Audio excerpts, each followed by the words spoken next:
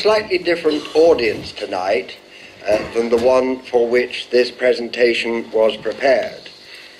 Uh, the University of the Third Age, it all sounds rather daunting. The Third Age, I'm told, uh, includes me, it's the, the oldies.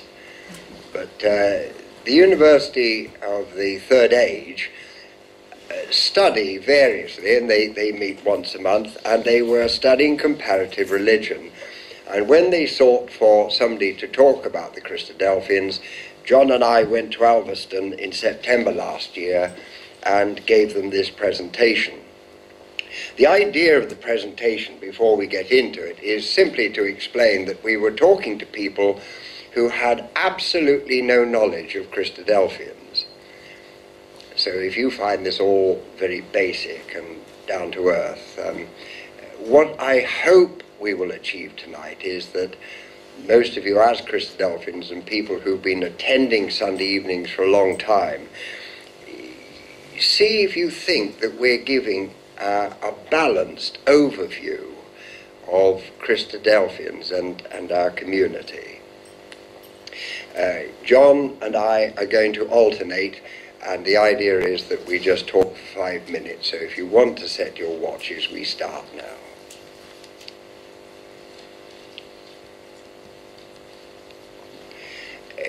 We are an unusual community as communities go, in that we don't have a head office, there's no overall leadership, and no paid ministry.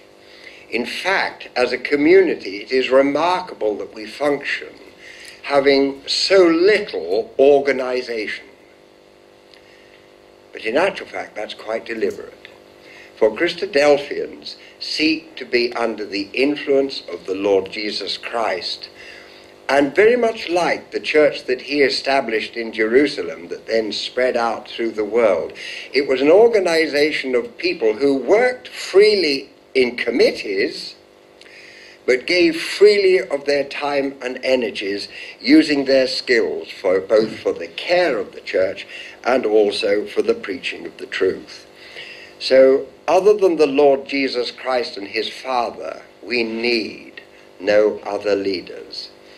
Which means then it is our ability to remain faithful to our Lord and faithful to the community that binds us together and makes us a community. The uniting cement to which we all acknowledge is that we have a love of the Holy Scriptures. And if there's any propaganda that you will repeatedly hear from Christadelphians, it's that we would encourage people to draw their Christianity from its source and return to the Scriptures. Uh, the preaching of the truth has been, uh, it started in America and then it came to England and uh, it has now spread to uh, many parts of the world. We have a common bond that on the same day we are all encouraging each other to read the same passages of Scripture.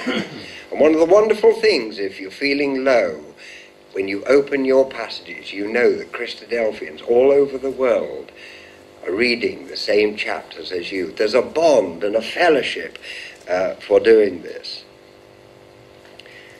We share a fellowship of love and care that stretches around the world. So, from darkest Africa, and there's some pretty dark places in Africa, uh, to North America and Canada, uh, throughout the world, communities of Christadelphians are meeting. We tend not to use the word church because a church very often is thought of as the bricks and mortar, the building. So, using the Greek, the biblical word for church, the ecclesia, the idea of the ecclesia is the gathering together of um, a community.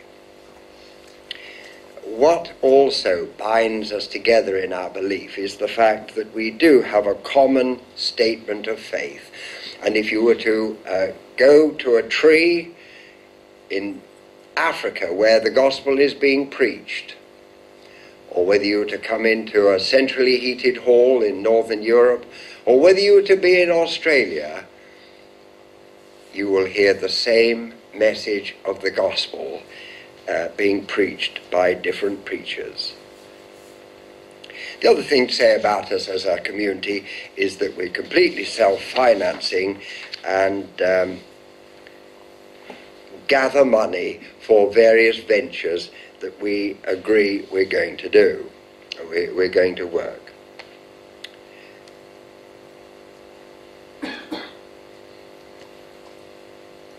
So, Christadelphians, where did we come from? Dr. John Thomas was not a doctor of divinity. You'll see he's a medical doctor, having studied at Guy's and Bart's in London. He became not only a doctor but also a surgeon. So one would regard John Thomas as being uh, quite an academic and a man of considerable skill who, uh, in seeking in his early life to go to the New World, um, booked on as the ship's surgeon on the Marquis of Wellesley, a ship bound for the New World. And in that journey, which is described in his journal, uh, the ship uh, was blown off course in the North Atlantic. Uh, the seas were extremely cold, there were icebergs around, and there was even at one point very great danger that his ship was going to founder off Newfoundland. And John Thomas, though qualified as a doctor and as a surgeon, and though he'd been brought up by his father, a nonconformist minister, he'd never really satisfied himself as to the meaning of life and what happens to you when you die. All the most important questions. And he suddenly realized how vulnerable he was. So he prayed in the bowels of the ship that if his life was spared, when he got to dry land, he would make it his first diligent inquiry to search the scriptures and discover the answers to some of the most basic and important questions of life. It might be that similar disasters will affect us. And when they do, they make us think seriously about uh, the issues that in our youth we think are a long way away. well, in America, there were many people that um, enjoyed receiving his studies, uh, John Thomas, and um, he used to ask lots of Bible questions and give strings of passages of quotations. He spent 12 years combing through the scriptures. What is the Bible telling me about God? What is the Bible telling me about man? And his copious studies in the Bible led him to ask questions of the community, the Campbellites, where he was then meeting. And then the American Civil War broke out, and Christadelphians were found on both sides of the fighting, but would not fight. As disciples, following the example of the Lord Jesus Christ, they'd rather lay down their lives than take life. And so the name Christadelphian was born. For John Thomas had not sought to create a sect. He just wanted to bind people together that believed the truth and believed the same thing. He thought that organization was a substitute for the true spirit of discipleship, and he did not want organization. But in the Civil War, Abraham Lincoln said, Well, how can we recognize who you are if you haven't got a name and you don't have a membership? And so John Thomas's followers were really forced by circumstances to taking the name, and they chose the name Christadelphian, an unusual name, but a beautiful name. When Paul wrote to the church at Colossae, he wrote to the faithful brethren in Christ.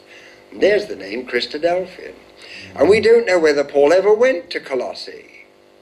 And so, as Paul doesn't know about us and may not have met face to face many in the church at Colossae, so we bear this name, brethren in Christ, with this important exhortation we must be faithful brethren in Christ.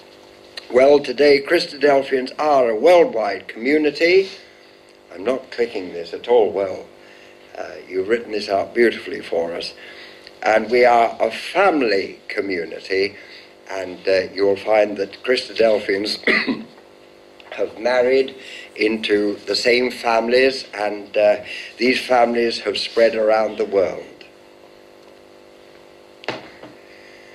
Now, John is going to introduce the Bristol uh, Downend Christadelphians, so pin your ears back from there. Thank you, Jim. It's inevitable that the first couple of sessions take a little bit longer than the others, but I can assure you they do get shorter. However, um, I don't really think you need introducing to yourselves, but I put this in because uh, it's how we showed it to the people who uh, asked us to go and speak to them up in Almondsbury, uh, Alveston, I beg your pardon. Right, so there's where we are, highlighted. And obviously you'll recognise that photograph. When I showed it to the people at uh, the presentation we did, one or two ladies said, oh, we know the lady bending, that's Mrs. Jennett, isn't it? And uh, of course they, they knew Nada because of her gardening work in that area. Uh, and Jim, of course, one of the first people to be baptised in this hall. I think it was the second, wasn't it, Jim? Back about 50 years ago. And uh, Jim's there, still, still with us tonight. Uh, and that's Jim. Put it in so as we could show people that we are a vibrant community. It's not a church hall that's got three or four people on a Sunday morning. It's, and this is one of the things that our neighbours in the road have said. You're a very busy church, aren't you? Um, well, it's what we're used to. So that's what we expect, I suppose. We put this in to show that we're quite a normal group of people because the Christadelphians have weddings, um, we get married, we do all sorts of things that other people do. Uh, it's not a wacky community. Uh, we, we enjoy life much as anybody else does. And going back then, this is the hall that we had built in 1955. Well, it was opened in 1955 and we go through. I did put the website up there because uh, at that time somebody may have taken it down and may still be looking at it for all we know. But the hall was built in the early 1950s uh, and it opened on January the 1st, 1955.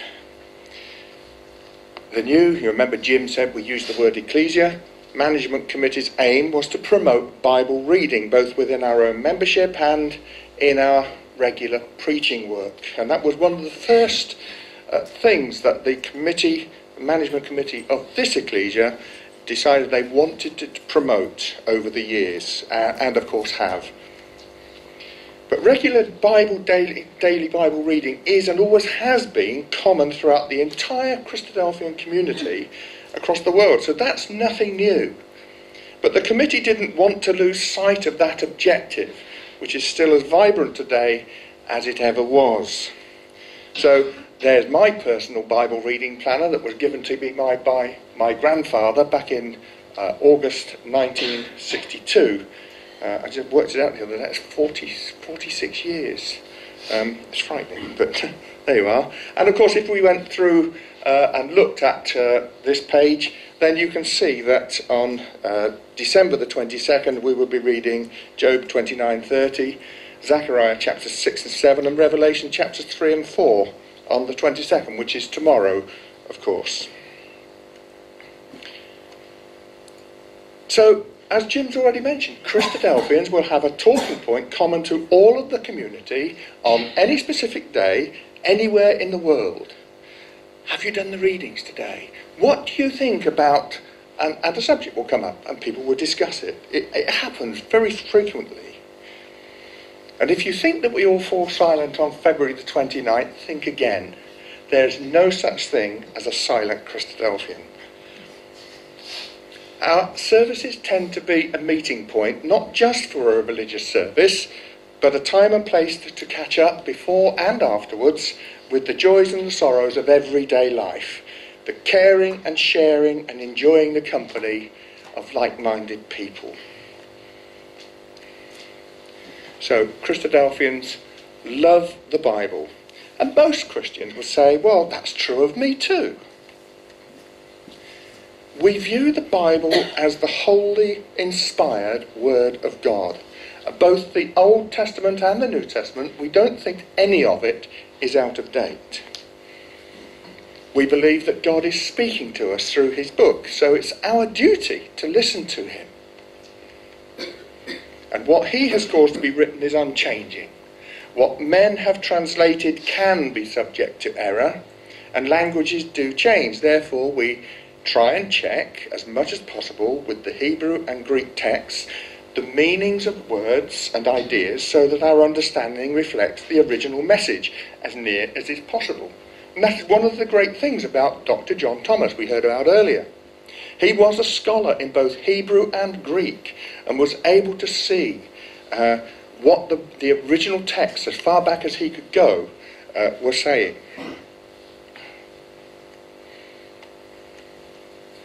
So that's a little bit about us at Downend. It's by no means all, but you'll probably ask, how do you differ from other Christian sects? Well, part of the answer is how we view and use the Bible. Christadelphians are convinced of the importance of the understanding the whole of Scripture in both the Old and the New Testaments. So Jim is now going to come back and explain what we mean by that by showing how the gospel was understood by a man called Abraham 2,000 years before the New Testament was written. I'll try and encourage you to keep pushing the buttons, Jim. Thank you. And to keep to time. Um, it, it's stands to reason that the only Bible that Jesus had as a boy was the Old Testament, because he was born between the Testaments in the Bible. Uh, therefore, if we're going to see the foundation that, that built the faith in Jesus Christ, we've got to look at the Old Testament. This is also borne out by the fact that when he was preaching, he repeatedly was quoting from the Old Testament scriptures, from the law and the prophets and the Psalms. And no wonder, because the Old Testament has some wonderful promises. In Genesis chapter 12, we write in the first book of the Bible. God said to Abraham, I will make of thee a great nation, and I will bless thee and make thy name great, and thou shalt be a blessing, and I will bless them that bless thee, and curse him that curseth thee, and in thee shall all families of the earth be blessed. Thank you. So Jesus' Bible is the one that was quoted, and Old Testament passage from Genesis chapter 12, and you say, well, all the families of the earth are going to be blessed in Abraham's seed. It seems the world has been cursed by the Jews, not blessed by them. But if you listen to what the Apostle Paul says in Galatians chapter 3, where he quotes the very words of Genesis chapter 12. And this scripture, foreseeing that God would justify the Gentiles by faith, preached before the gospel unto Abraham, saying, In thee shall all nations be blessed. See, most of us would grow up thinking that the gospel begins with Matthew and Mark and Luke and John. They're called the gospel records. And yet, what we're told here in the letter to the Galatians is that the gospel was preached before to Abraham. In other words, the gospel originates in the Old Testament and God's great promises. And to Abraham, God made seven wonderful promises. If one reads carefully Genesis chapter 22, this is about Abraham, who, having been promised a special son, is given a special son, Isaac.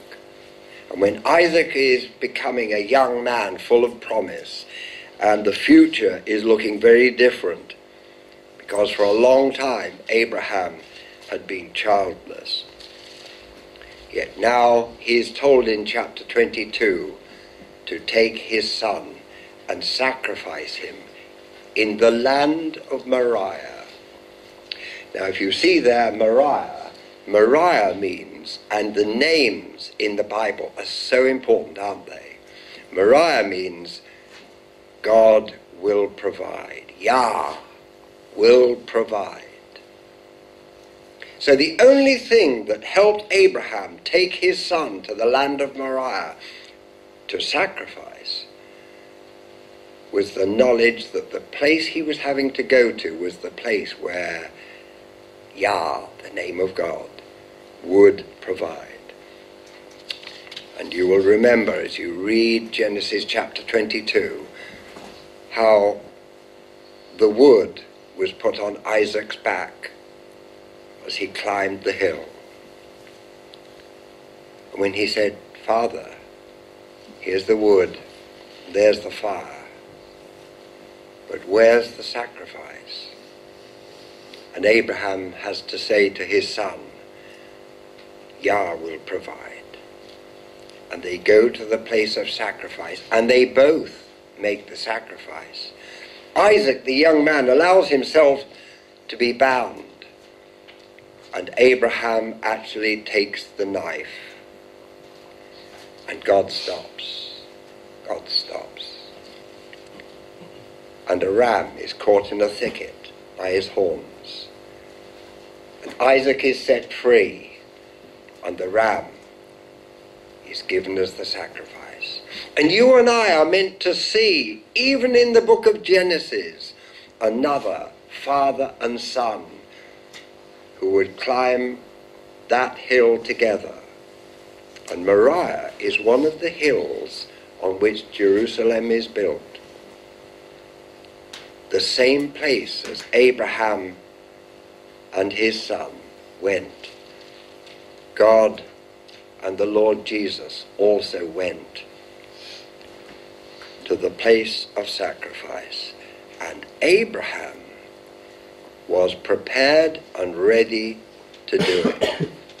and it's the New Testament that tells us wonderfully that he was prepared to do it because he believed that if God required this sacrifice, then God was able also to raise his son from the dead. And so there is a wonderful belief here in the resurrection. And now, John is going to talk to us about how we see Jesus, particularly when we view him from the point of view of the Old Testament. Thank you, John. Thank you, Jim. right. One of the, of the most frequently asked questions of Christadelphians, it certainly is asked of me when I, I talk about what we are to people, is how are you different then from other denominations? And I have to answer, um, it, the most major difference is how we see Jesus. There are a number of variations, but the biggest by far, as far as other denominations are concerned, is our viewpoint on Jesus, his nature, who he is. Right. You see, we do not, as a community, accept what is popularly known as the doctrine or teaching about the Trinity. We don't accept that there are three gods in one person who are all co equal.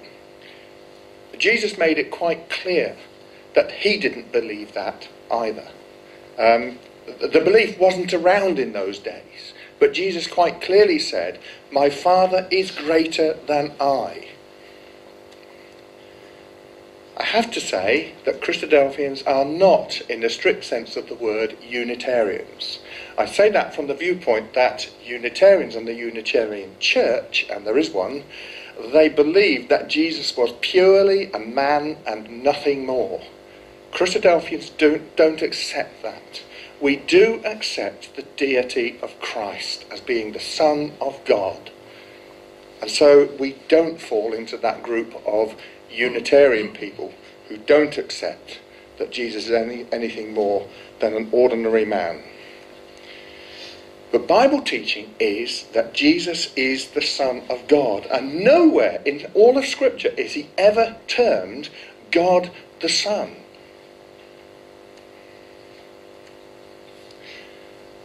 What the Bible does teach us, and the book of Hebrews tells us this, that Jesus has been elevated above all creation. We are told that there is no other name given among men whereby we can be saved. Because Jesus made the sacrifice that Jim has just been talking about. When Jesus, as Isaac carried the wood to his sacrifice, Jesus carried his cross in an exact parallel. And he became the sacrifice whereby we who are sinners can find salvation. And we are told that at the name of Jesus, every knee shall bow. The promise is that he will return. Now, the subject of how we view Jesus is much deeper uh, than I've just said in two or three minutes. But because of time, I'm going to stop there uh, and we can talk about that uh, at, a, at a later time. The promise is he will return. And Jim is going to tell us very briefly about the second coming of Jesus and the future. Jim didn't know that I put that very briefly in.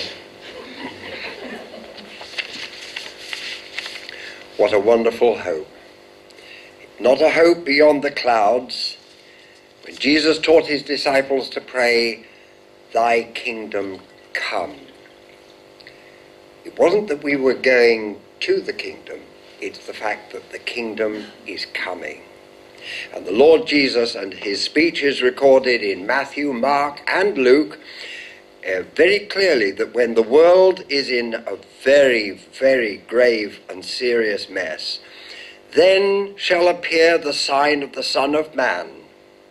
Here's the passage. The sign of the Son of Man in heaven, and then shall all the tribes of the earth mourn, and they shall see the Son of Man coming in the clouds of heaven with power and great glory. And he shall send his angels with the, a great sound of a trumpet, and they shall gather together his elect from the four winds, from one end of heaven to the other, from the whole of God's creation, the gathering of the saints, those that have fallen asleep in death, and those that are alive, will be gathered at the coming, the return of Jesus Christ. But not only did the Lord Jesus prepare and preach this in the cities and towns and villages of Galilee and Israel, but the angels, at the point when Jesus rose to heaven, also confirmed, as the disciples were watching Jesus go into heaven, they were not to be alarmed. This same Jesus, which is taken up from you, shall so come in like manner, the same Jesus in the same way is coming back. And that passage in Acts chapter 1 is so important. And so, as a result of this, instead of the apostles being terrified, they began to preach and to demonstrate the wonderful hope of the second coming of Jesus Christ. And the hope of all true Christians is those built upon the wonderful promises that God gave to Abraham and to Isaac and to Jacob. And the Lord Jesus, by his sacrifice and by his resurrection, has made these things absolutely certain. And if you want these passages afterwards, then they can uh, be given to you. So not only did the apostles preach it, but it was the foundation belief of the church. They were waiting and preparing for the fact that there would be a resurrection of the dead and that Jesus Christ returned would be king over all the world. And in fact, the purpose of Scripture is to prepare us for the coming of the Messiah. The whole of the Old Testament was designed to prepare Israel for the fact that God would send his Son, the promised Son, uh, promised to Abraham. And the last prayer in the end of the Bible is, Even so, come, Lord Jesus. And so the wonder of the faith uh, of the gospel and the hope in which all may live and confidently close their eyes is that the Lord Jesus will come when the world most desperately needs him.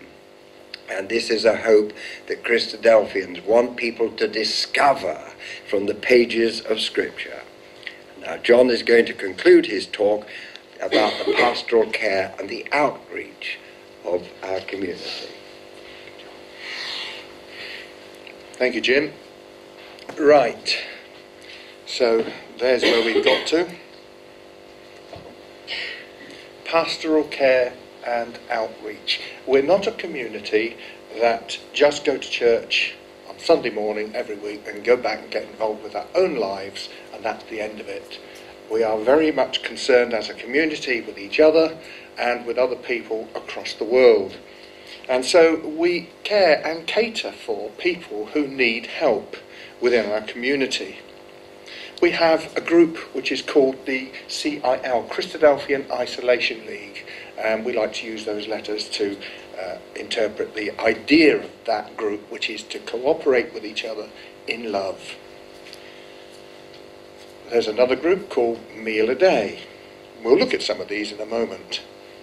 CBM is the Christadelphian Bible Mission, which deals with preaching and welfare issues in other lands where help and assistance is needed.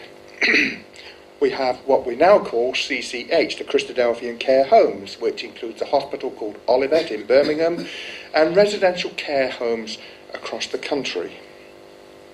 Then there is the ALS, or Christadelphian Auxiliary Lecturing Society, where people uh, around the community, we don't have a paid ministry, they can go and give talks, such as we're giving here, um, to other communities around the world, uh, Christadelphian communities. So it's not beholden on one person in one ecclesia, to use that word, to have to do it every week, but there's a change of speakers all the time, and we use that idea and that service throughout the world.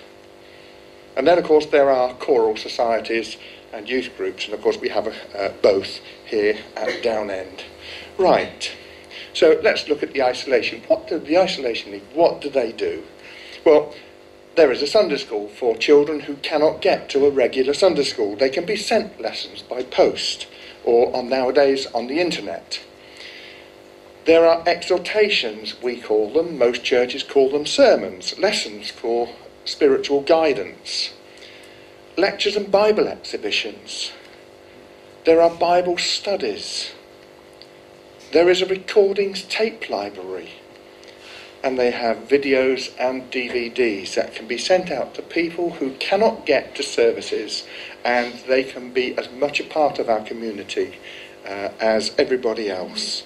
And that's just one area in which we can help and assist everybody. And then for people who are uh, partially sighted or, or blind, there is a braille service uh, which is used. So that's a little bit, a very little bit about the Isolation League. We mentioned another group called Meal a Day. And this is a, a group that was a charity originally set up to help third world people, not necessarily Christadelphians, get at least one meal every day, hence the name. And today that charity has grown and it helps people to help themselves by sinking boreholes for fresh, clean drinking water. Uh, it supplies animals for self help farms and small holdings. It supplies seeds and plants and horticultural and farming expertise. And these are one or two pictures that were taken by John and Jill, who are members here, uh, uh, of some of their things that they've done with the meal a day. Uh, this little chap on the top right hand corner of the screen looked very happy. I mean, he's obviously a permanent invalid, but he looks very happy at the way he's being looked after. Children will always want to play around water. Uh, uh, uh, and it's always been the same. It's the same the world over. And then in the bottom left-hand uh, uh, side of the screen, you can see how a cow. This is a scheme called Send a Cow. And they send a cow that's already in calf so that they've not only got the milk, but they've got the next generation coming on in these little small holdings uh, out in African and third world countries.